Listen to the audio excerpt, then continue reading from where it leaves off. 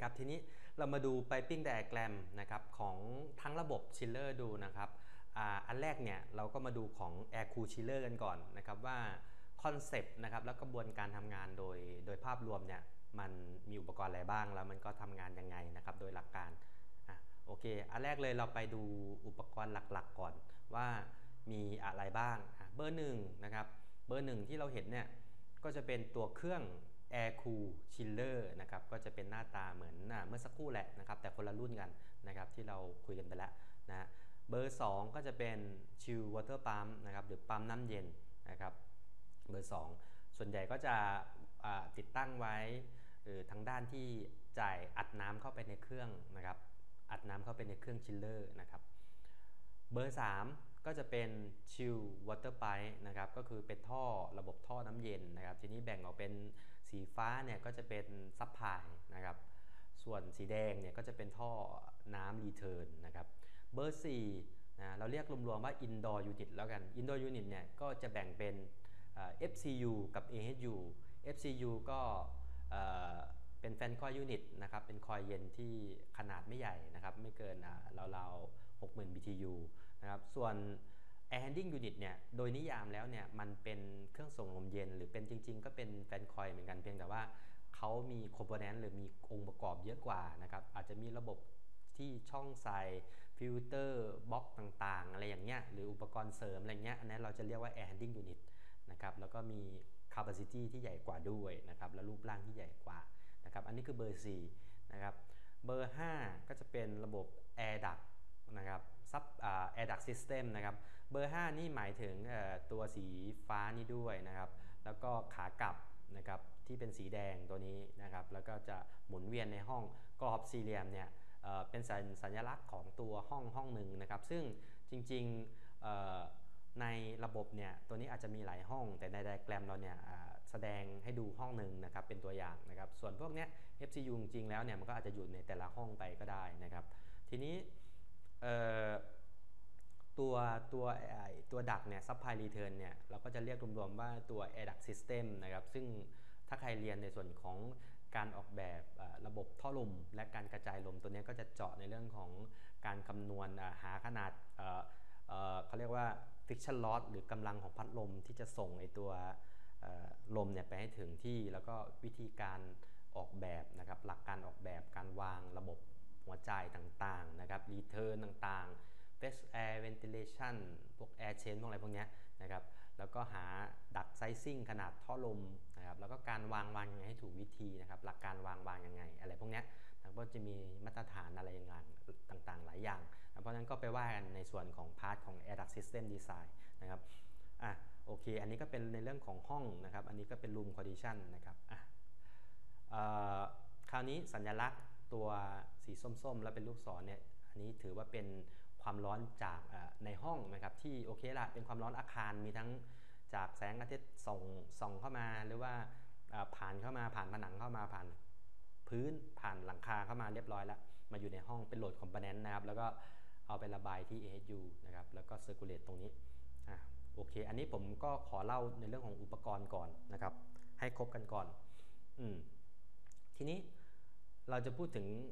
step หรือกระบวนการทำงานของไอตัวระบบ Air Cool Chiller กันนะครับ เราก็เริ่มจากอะไรครับ ปกติเนี่ยเดี๋ยวเราจะเล่าอย่างนี้ก่อน เราจะแยกเป็น Air Side กับ Water Side นะครับ Air Side ก็คือด้านอากาศ ด้านอากาศเนี่ยก็จะเป็นด้านนี้ด้านท่อ duct นะครับ ด้านอากาศที่เอาลมเย็นเนี่ยมามา circulate ผ่านตัว cooling coil นะครับ ตรงนี้เราเรียกว่าด้าน air side ส่วนด้าน water side เนี่ยก็คือด้านระบบ น้ำเย็นนะครับระบบตัว chiller นะครับตัวปั๊มตัวระบบท่อน้ำอย่างเงี้ยตรงนี้เราเรียกว่า water side นะครับก็จะแยกออกเป็น 2 แบบก่อนเพื่อการออกแบบนะครับอ่าโอเค ทีนี้เวลาการทำงานนะครับเราก็จะเริ่มจากการสตาร์ทระบบนะการกดสตาร์ทระบบ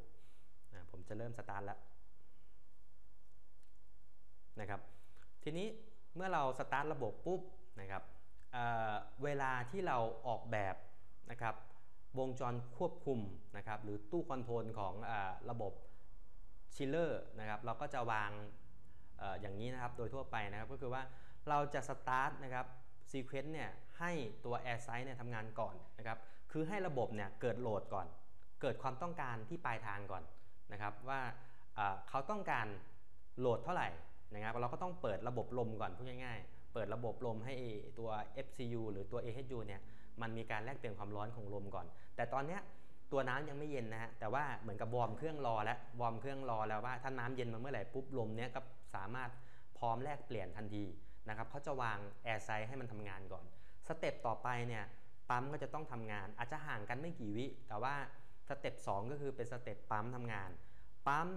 ก็จะติดแล้ว circulate น้ำนะครับปั๊มก็จะติดและ circulate น้ำนะครับ step นี้นะครับก็แปลว่าในขณะนี้ จะมีน้ำนะครับหมุนเวียนอยู่นะครับหมุนเวียนเริ่มหมุนเวียนละเนี่ยเห็นไหมฮะสีฟ้าก็เป็น supply แต่น้ำยังไม่เย็นนะให้นึกภาพน้ำที่ยังไม่ได้ทำความเย็นก่อนนะครับน้ำธรรมดานี่แหละวิ่ง แต่มันจะวิ่งแล้ววิ่งขาไปขากลับแล้วเริ่มเริ่มวิ่งแล้วหลังจากนั้นพอน้ำวิ่งปุ๊บนะครับโดยปกติแล้ว chiller เนี่ยอาจจะมีอยู่ 2 แบบคือจะมีเซนเซอร์เอ่อ flow meter ในเครื่องติดมาเลยนะครับกับอีกแบบไม่มีเพราะผู้ผลิต ประหยัดนะครับก็จะตัดไอตัว flow switch ตัวนี้ออกนะครับที่จะเซ็นเซอร์ว่ามีน้ำวิ่งหรือเปล่าเนี่ยออกไป เพราะฉะนั้นถ้าไม่มีปุ๊บเนี่ยเราต้องดูแคตตาล็อกให้ดี หรือต้องดูสเปคเครื่องให้ดี ถ้าไม่มีเราก็ต้องติดตั้งไอตัว flow switch เข้าไปในระบบท่อนะครับเพื่อให้จับน้ำว่ามีน้ำวิ่งมาแล้วนะครับ chiller จะทำงานก็ต่อเมื่อ flow switch ตรวจจับได้นะครับว่ามีน้ำมาแล้วเท่านั้น เพราะว่าตรงนี้ถือว่าเป็นโหมดป้องกัน ดังนั้นนะครับเมื่อ flow switch เนี่ย contact ต่อแล้วเซนเซอร์ทำงานแล้วเนี่ยนะครับวงจรของตัว chiller เนี่ยก็พร้อมที่จะทำงานในขั้นตอนต่อไป เพียงแต่ว่าตอนนี้ chiller จะทำงานหรือไม่ทำงานนั้น ก็จะมีอีกเงื่อนไขหนึ่งตรงที่ว่าเขาก็จะมีตัว temp sensor อยู่จับอุณหภูมิน้ำอยู่ใช่ไหมครับสมมุติว่าน้ำเขาจับดูแล้วยังไม่ถึงจุดที่เขาเซตอย่างเช่นว่าเราเซตน้ำขาส่งเนี่ย 7 องศานะครับ ถ้าเซนเซอร์มันจับแล้วน้ำมันเย็นมันก็ยังจะไม่ทำงานถูกไหมแต่ว่าถ้าเราสตาร์ทครั้งแรกแน่นอนว่าอุณหภูมิน้ำมันคงไม่เย็นอยู่แล้วถูกไหมฮะเพราะฉะนั้นตัว chiller เนี่ยก็จะเริ่มหน่วงเวลาแล้วก็เตรียมทำงานนั่นเองนะครับอะสมมติว่าทำงานแล้วตึง chiller เริ่มเดินเครื่องปุ๊บแน่นอนว่าเขายังต้องใช้เวลานิดนึงในการที่ว่า ทำอุณหภูมิน้ำให้เย็น โดยที่ว่าต้องเอาความร้อนของน้ำเนี่ยไปทิ้งด้วยส่วนหนึ่ง แล้วก็ในขณะเดียวกันเนี่ยความร้อนที่อยู่ในระบบอาคารเนี่ยหรือในห้องมันก็จะถูกส่งถ่ายทอดมาที่น้ำตลอดเวลาถูกไหมฮะเพราะนั้นครั้งแรกในการทำความเย็นเนี่ยเขาต้องเอาความร้อนของน้ำเนี่ยลดอุณหภูมิทำความเย็นก่อน แล้วเอาความร้อนของน้ำทิ้งไปด้วย แล้วก็ในขณะเดียวกันก็ต้องเมนเทนตัวความร้อนที่มาจากอาคารนะครับ พอไปสักระยะหนึ่งเนี่ย น้ำมันก็จะโดนลดอุณหภูมิลงเรื่อยๆ สมมุติว่าเริ่มต้นเราไม่ได้ใช้ระบบเลยนะครับ ระบบมี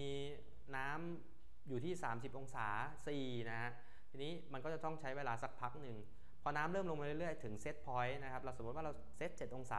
C ระบบก็จะตัดนะครับ คอมของ chiller ก็หยุดทำงานนะครับ คอมของ chiller ก็หยุดทำงานนะฮะ ก็จะเป็นลักษณะแบบนี้นะครับ แต่ว่าในระหว่างที่ทำงานก่อนแล้วกันนะโอเค ในระหว่างที่ยังไม่ตัดเนี่ยนะครับน้ำที่ 7 องศาก็จะโดน supply มานะครับที่ในส่วนของ indoor unit นะก็จะไปในแต่ละห้องแต่ละโซนนะครับก็จะมีระบบตามที่เราออกแบบระบบ piping design ไว้ว่า loop ของท่อเนี่ยวิ่งไปกี่โซน กี่จุด วิ่งไปกลับยังไงบ้าง มีการแยกท่อยังไงอะไรพวกนี้อันนั้นก็จะเป็นการออกแบบระบบ piping system แล้วนะครับของท่อน้ำเย็นนะนะฮะ ก็ถูกส่งเข้าไปนะครับที่ AHU แล้วก็น้ำเมื่อโดนส่งเข้าไปที่ 7 องศานะครับแลกเปลี่ยนกับอากาศนะครับที่ดูดมาจากห้องนะที่เอามาจากห้อง return air พอแลกเปลี่ยนกันปุ๊บน้ำที่กลับออกมาเนี่ยนะครับจะกลายเป็น 12 องศานะครับ temp diff ของน้ำเนี่ยจะประมาณ 5 องศา C นะครับส่วนอากาศเนี่ยตัว return air เนี่ยโดยปกติจะดีไซน์อยู่ประมาณสัก 27 องศา C นะครับ 27 องศา C อากาศ Return Air กลับมาปุ๊บเขาก็จะผ่านตัว Cooling Coil ของตัว AHU หรือตัว FCU ใช่ไหมครับพอผ่านปุ๊บอากาศหลังจากผ่านคอยแล้วเนี่ยปกติอุณหภูมิก็จะอยู่ประมาณสัก 12-15 องศา C นะครับก่อนที่จะถูกส่งเข้าไปในห้องนะครับที่เราปรับอากาศนะครับมันก็จะหมุนเวียนอยู่อย่างนี้นะครับห้องนี้ก็จะมีความร้อนนะครับจากความร้อนภายในความร้อน จาก load component เหมือนที่บอกไปเมื่อสักครู่นี่แหละนะครับจากพื้นจากหลังคาแรงต่างเข้ามาอยู่ตลอดเวลา เพราะฉะนั้นระบบก็จะมีความร้อนที่จะต้องนำกลับไปทำการ cooling อยู่ตลอดเวลานะครับทีนี้พอน้ำนะครับมาที่น้ำต่อน้ำเอ่ออุณหภูมิเพิ่มขึ้นเป็น 12 องศา ก็จะถูกส่งกลับไปที่ chiller นะครับมาตามท่อตรงนี้นะครับผ่านปั๊มนะครับผ่านปั๊มมาแล้วก็ เข้าไปที่ตัวเครื่อง chiller นะครับ chiller เนี่ยน้ำขาเข้า 12นะครับก็จะทำการลดอุณหภูมิของน้ำโดยที่ใช้เครื่อง chiller เป็นตัวลดอุณหภูมินะครับน้ำก็จะถูกลดอุณหภูมิลงประมาณ 5 องศา C นะครับเหลือ 7 องศาก็จะถูกส่งไปใช้ในระบบนะครับอีกครั้งหนึ่งนะครับก็ระบบก็จะหมุนเวียนอยู่แบบนี้นะครับนี่คือระบบ chiller แบบ air cool chiller แต่ว่าอันนี้เป็นระบบพื้นฐานเป็นไดอะแกรมวงจรขั้นพื้นฐานขั้นต้นแบบ basic ที่สุดนะครับของ chiller นะครับซึ่งถ้าเป็นระบบใหญ่ปั๊มมันอาจจะวางมีทั้ง primary ปั๊มที่อยู่ด้านที่อัดน้ำเข้า และ secondary ปั๊มที่อยู่ฝั่งออกอะไรพวกนี้หรือการจัดดีไซน์ระบบท่อมันอาจจะมีรูปแบบที่มากกว่าที่เราเห็นณตอนนี้นะครับก็ต้องศึกษาเพิ่มกันเข้าไปนะครับแต่โดย concept ภาพรวมเนี่ยเราอธิบายพื้นฐานกันเพื่อเอาไปใช้งานแล้วไป ศึกษาต่อกันนะครับ โอเคประมาณนี้นะครับ air cool chiller นะครับ เดี๋ยวไปดู water cool กันต่อเลย